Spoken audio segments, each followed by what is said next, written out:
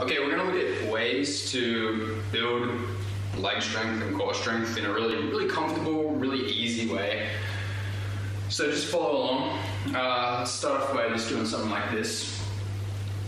Nothing special, right? Now, if you can't, if even this is a bit uncomfortable, well, that's okay. Just go like that. Okay, so basically you're just going, going down to the side, bend your back a bit, bend over to the side a bit, uh, bend your knees a bit, push your butt, out a bit. But don't think about any of that. I'm just saying what's happening. Just reach down and tap the floor, and that's all you gotta do. So that's one way. That gives you a tiny little bit of a workout, doesn't it? So the idea here is, I'll just switch when I switch. And always do just the easiest version that's, you know, just, just a version that's completely comfortable. It can, it doesn't have to be strenuous in any way. You don't have to actually spin around. Yeah. So the idea is here, the reason why we're doing this is if in our society these days, like if you want to build strength or something like that, like the obvious way to do it. I mean, I'm sorry. The, the only way you can really do it is with these like programs, right? Like you do yoga, you do yoga, like you do the yoga session, like, or you go to the gym and you do the workout. Okay, check out this one, right? So we're gonna go down on one foot, like this. It's like a curtsy. You can even tap that other knee down.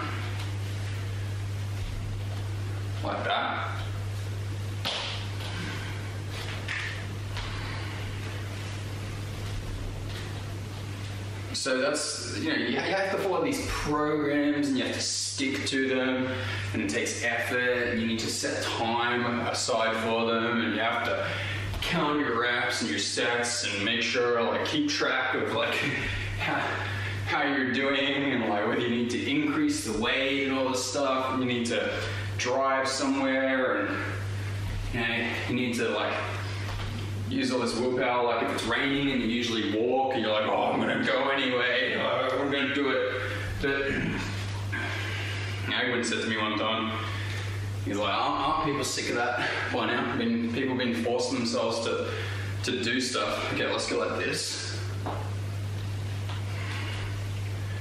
You know, all their lives, don't you want to try something that's just easy? That you, that you can just kind of do without really any effort? You just, that doesn't put up all this resistance? So the idea here is you don't, um, you don't set aside time for this workout what I'm showing you is stuff that you can do any time, Absolutely any time. Like, you can just be in the kitchen getting a snack or, or, or some useful food for your body. um, but I like snacks. Um, okay, check out this one. It's like a deadlift, right? but you don't go to the point where you're like, um, I don't know, you just don't go into any like, right? Like I've done heavy deadlifts, no problem. Um, let's do this, right? So point one leg out and one leg forward. Just got this and then swap, swap, swap, right? Good. Now, I've deadlifted 115 kilograms. Some people would still say, bro, that's nothing. I've deadlifted over 200 kilograms. But, yeah, 100 kilograms so heavy. Didn't do anything for me. Nothing useful. Yeah, you get mass, you know, but like, if you don't do that completely perfectly, well, you just build tension into your body in all the wrong places. Let's do this. Keep, let's keep doing that one foot out. But now let's go down and touch. You can either touch all the way over here or you can touch just in front. It's like whatever's comfortable. Let's um let's let's um, yeah, yeah, yeah. This one's good, right? So we're gonna go down like this, and then we're gonna come up onto the toes. Okay.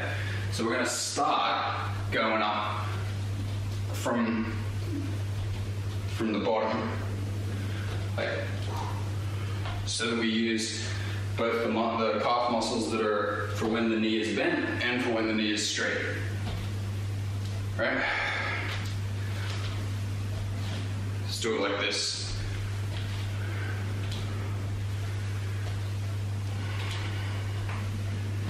Okay. Remember, we can also do our sumos, right?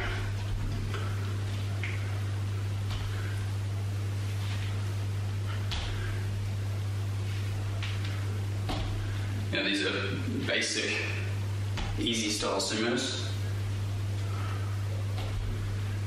So there's all these easy ways you can um let's do this. You know, you can improve like okay, make sure you don't um do lead with your shoulders. Don't lead with your shoulders, okay? You can just like push your hips out, but just I don't know, kind of. Let's do that with uh, feet apart. Slide your uh, hand down your down there like that. Doesn't you know you can go kind of back if you want. Like you should sometimes go back, and you should sometimes go forward. You can also go in a full kind of twist like that.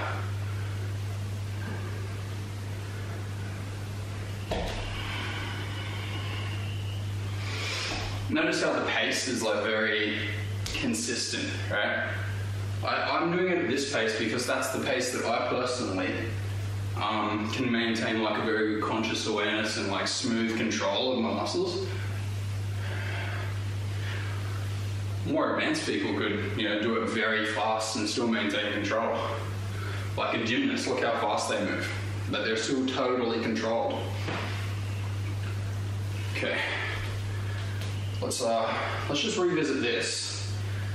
See if you can feel your glutes in this one.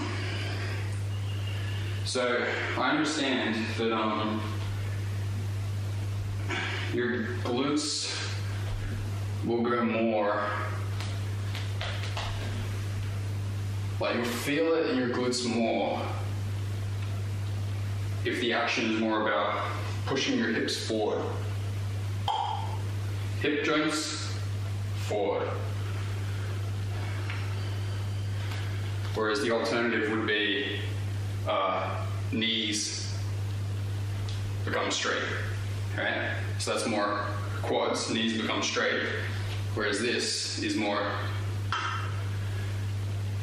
hip joints go forward. Okay, let's uh, go like this. So this one's, a, you know, this one can be very difficult. So you only need to go down as low as you feel totally comfortable. You know, if you're watching a tutorial on how to do a lunge, it's like, okay, like but that, that's that's actually I know it looks simple, like I can do it, right? I could just make a tutorial on like how to how to do this, but um, usually at the bottom, people will be going into too much tension for their current mobility, meaning that their joints aren't actually opening. Literally, their joints aren't opening enough to go into that position but they go into that position anyway, and then you get a huge buildup of tension on the joint. That's why you feel that like, like you might feel your knee because it's like the, the required opening, smooth opening, isn't happening. So just go like as far as is really comfortable. Yeah, you can do this the idea behind this, as I said, is you can do it anytime, right? So just say you're walking around your house, whatever, and then you just go.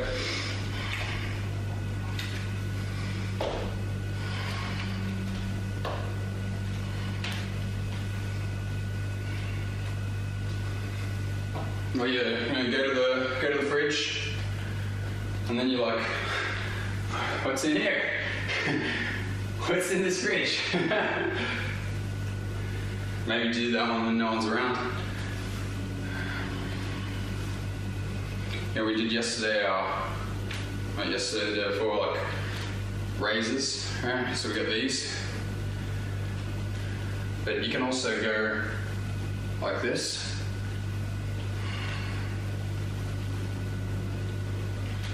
Like if you do, like for me, it's really become part of my life to just kind of do this, you know, like random stuff like this. And even if you think at the moment my performance is reasonably average, you should have seen it before. you should have seen it before. So what we're doing here is, um, you don't have to do it with perfect form. We're just kind of like a, we're opening our, like this. You can, yeah, this is facing over there. We're kind of, kind of like that, and then just go onto it. You can even do that. You can even bend the knee a bit. Like whatever's comfortable, you know. Whatever is comfortable, that's the idea here. You just do heaps of completely comfortable stuff, but you, but what it allows you to do is it actually allows you to do it in your regular life. But by the fact that it's so comfortable and easy, you'll actually do it. Maybe. Let's, let's do, um, yeah, that's good. Let's come up on, on here.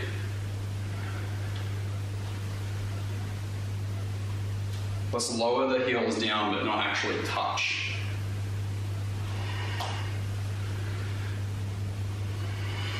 Knees are just gone. Don't have to think about it. The more you think about where you want your knees to go, the, the more wrong you'll get. Because you'll, you'll be like bit to the left, bit to the right, bit to the left, bit to the right, bit to the left, bit to the right. And you'll get tension on the right, tension on the left, tension on the right, tension on the left, tension on the right, tension on the left. And they'll be like, which way? Which way?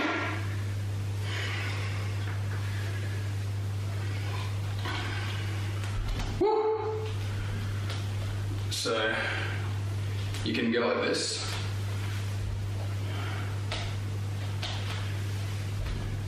So, form, the physical appearance of the form,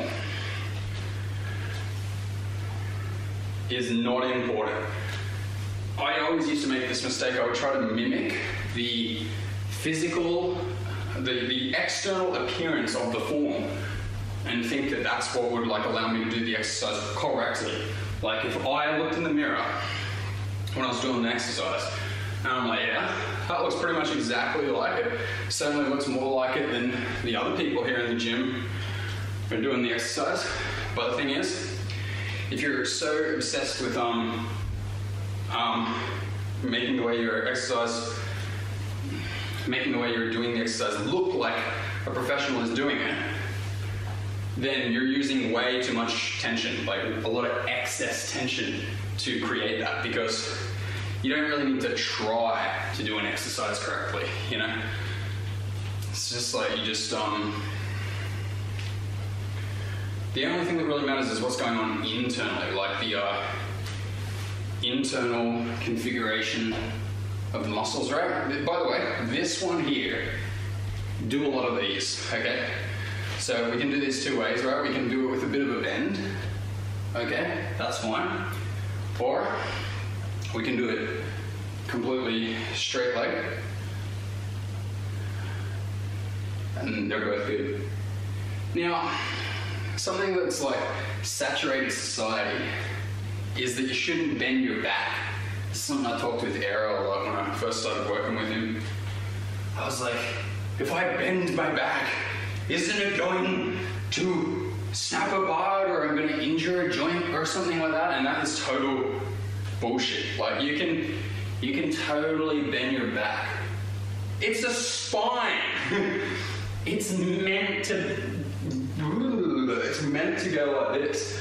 Like if you do it in a way where you feel some serious pain, that's probably too much. But any regular bending, like like this, if you want to pick up an object or something like that, if you do it consciously and calmly, and, and you're not like like that, like where the blood rushes to your head because like there's so much tension in the movement, That's fine.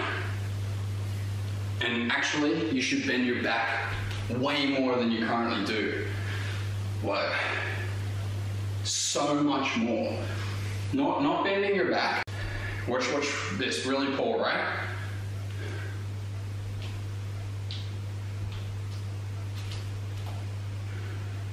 Fine if you do it like that. Fine.